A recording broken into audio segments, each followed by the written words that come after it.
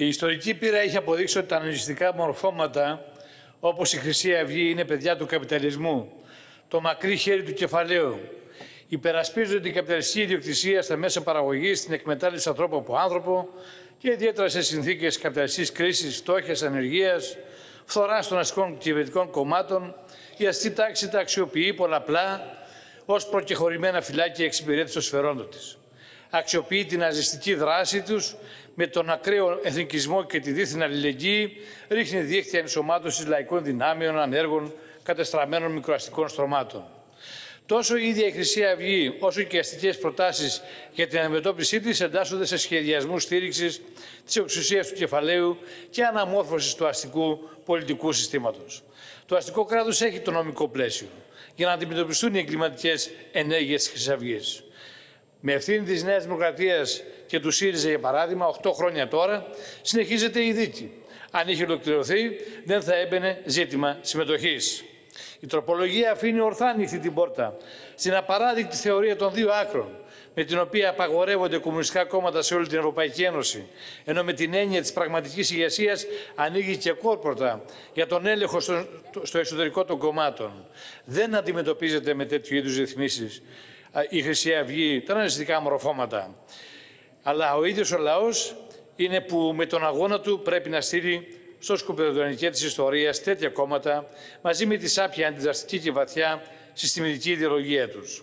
Το ΚΚΕ στέκεται αντιμέτωπο σε όποιες νομοθετικές παρεμβάσεις επιδιώκουν την εξίσωση της ναζιστικής εγκληματικής δράσης με την πάλη του εργατικού λαϊκού κινήματος, την εξίσωση του φασισμού με τον κομμουνισμό, με βάση και τις αντίστοιχες κατευθύνσεις της Ευρωπαϊκής Ένωσης. Συνεχίζονται με αυτό το νομοσχέδιο η μεταρρυθμίση στην τοπική και περιφερειακή διοίκηση για να υλοποιείται η αντιλαϊκή πολιτική χωρίς εμπόδια.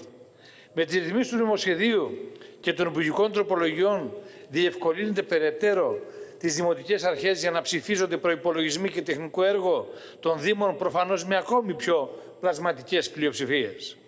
Όπως η τροπολογία 1719, κάθετος 185, που ψηφίζεται σήμερα, που με το άρθρο 11 έρχεται να ενισχύσει τη λεγόμενη κυβερνησιμότητα αφού η λευκή ψήφος και η, ή η άρνηση ψήφου δεν υπολογίζονται στην καταμέτρηση. Μέλη ΔΣ αν αποχωρήσουν θεωρείται παρόντα για όλα τα θέματα μέχρι τέλους. Και η λήψη απόφασης γίνεται επί των παρόντων, όσων παραμείνουν δηλαδή πίσω και επαναφέρεται τη λύση της Οικονομικής Επιτροπής που σε περίπτωση λέτε αδυναμίας λήψης απόφασης στο ΔΣ παραπέμπεται το όποιο θέμα στην Οικονομική Επιτροπή.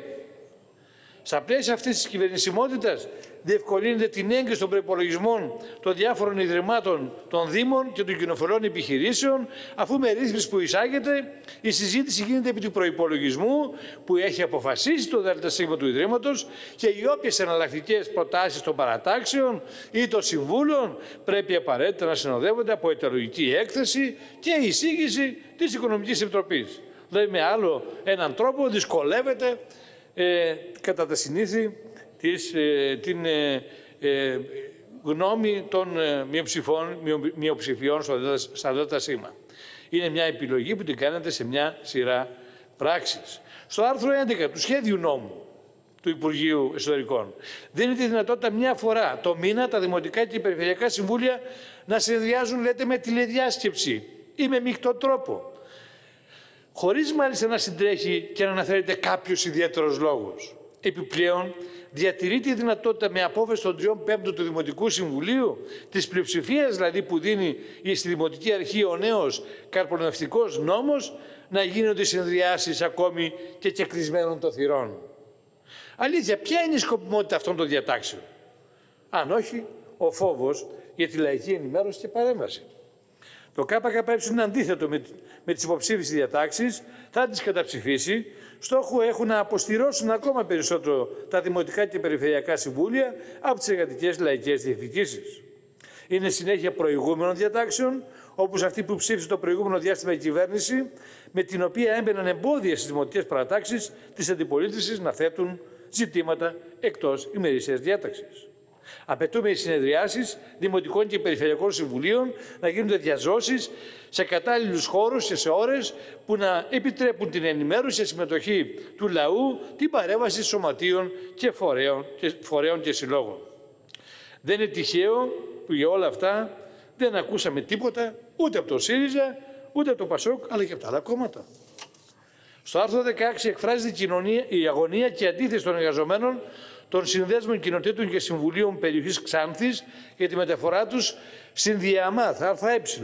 Η ανάθεση της αποκομιδής σε ιδιώτες οδηγεί στην ιδιωτικοποίηση υποδομών, στην απώλεια εργασιακών δικαιωμάτων και την αβεβαιότητα στους εργαζόμενους από την αλλαγή της εργασιακής τους σχέσης.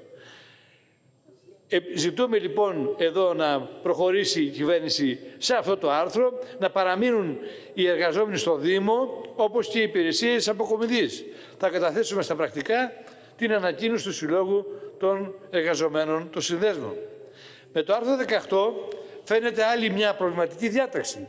Μειώνεται από 300 σε 200 κατοίκους για την εκλογή σε κοινότητα μόνο Προέδρου. Και από 200 μέχρι 2.000 προβλέπεται εκλογή τριμελούς συμβουλίου. Δεν έχουμε αντίρρηση να παραμείνουν τα τριμελή συμβούλια για πάνω από 200 κατοίκους. Αλλά αν δεν καταργήσετε ή δεν μειώσετε τουλάχιστον την υποχρεωτική συμπερίληψη του 60% των κοινοτήτων για να είναι έγκυρος ένας συνδυασμός, στην πραγματικότητα δημιουργεί ακόμα ένα εμπόδιο για τη συγκρότηση των συνδυασμών. Μειώσατε υποτίθεται τα υποχρεωτικά ποσοστά που χρειάζονται για πλήρη ψηφοδέλτια στους συνδυασμούς από το 80% στο 60% των κοινοτήτων και με αυτή τη ρύθμιση αυξάνεται τον αριθμό των κοινοτήτων που θα χρειάζεται να συγκροτήσουν τριμελές συμβούλιο. Για πάνω των 2.000 ενισχύεται ε, ο, ο πλειοψηφών συνδυασμός παίρνοντας τα 3 πέμπτα των, ε, στις, και στις κοινότητες. Με μια σειρά διατάξεις έρχεται να καταργήσει κολλήματα συμβίβαστα, διευκολύνοντας στελέχη που απέκτησαν μια εμπειρία από αυτή την προσαρμογή της τοπικής και περιφερειακής διοίκησης στην υλοποίηση της κυβερνητικής πολιτικής για να παίξουν και πρωτεύοντα ρόλο στις δημοτικές και περιφερειακές αρχές. Μάλιστα προβλέπετε, την ανοχή σας κύριε Πρόεδρε, μάλιστα προβλέπετε ότι όσοι έχουν ήδη παραιτηθεί προκειμένου να θέσουν υποψηφιότητα στις προσεχείς δημοτικές και περιφερειακές εκλογές μπορούν να επιστρέψουν στις θέσεις τους αφού ε, ε, καταργείται και αυτή η ημερομηνία των παραιτήσεων. Τέλος, το ΚΚΕ έχει καταθέσει τροπολογία με την οποία οι εποχιακοί εργαζόμενοι του τουρισμού και επιστημού για οποιοδήποτε διάστημα εντός της τουριστικής περίοδου, από τον Απρίλιο έως τον Οκτώβριο, που διαμένουν προσωρινά λόγω της εργασίας τους σε άλλη εκλογική περιφέρεια από εκείνη στους εκλογικούς καταλόγους στις οποίες είναι εγγεγραμμένοι, να ψηφίζουν σε εκλογικό τμήμα του Δήμου όπου εργάζονται τους συνδυασμούς και υποψηφίους της εκλογικής περιφέρειας στην οποία υπάγεται το εκλογικό αυτό τμήμα. Η ψηφοφορία με νομοθετικέ καταστάσεις οι οποίες συντάσσονται, υπογράφονται και θεωρούνται από τον προϊστάμενο κατά τόπους αρμόδιους αρμόδιας υπηρεσίας της ΔΙΠΑ του πρώην ΟΑΕΛ με βάση το έντυπο ε3, την αναγγελία πρόληψης δηλαδή, και οι οποίες επέχουν θέση ειδικού εκλογικού καταλόγου. Δεν είπατε κάτι γι' αυτό, κύριε Υπουργέ, αν δέχεστε αυτή την τροπολογία, ναι ή όχι; Για τους εποχιακά εργαζόμενους στον τουρισμό. Είναι πολλοί εργαζόμενοι.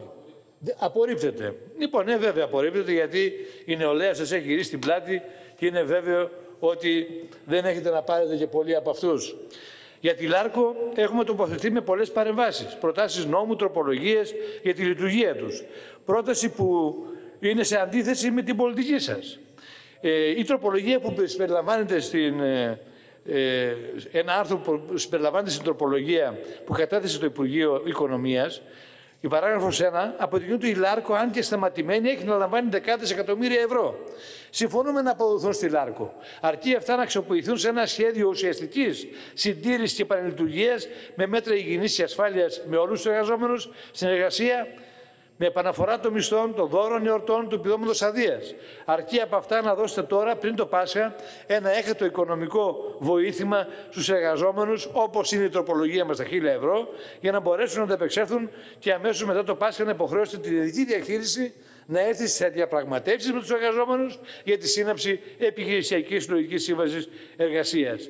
Μάλιστα, έχουμε καταθέσει, όπως είπα και σχετική τροπολογία, το 85% των εργαζομένων σε αυτή τη φάση, σε αιτήσια βάση, έχουν μικρότερο εισόδημα από αυτό που προσφέρει ο κατώτερος βασικός μισθός.